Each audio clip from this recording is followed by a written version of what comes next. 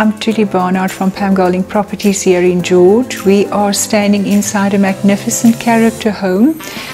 The property we are viewing consists of a three bedroom home on the upper level directly onto the pool and patio area and downstairs it has a very large three bedroom flat with own kitchen, own lounge plus five garages and a double carport.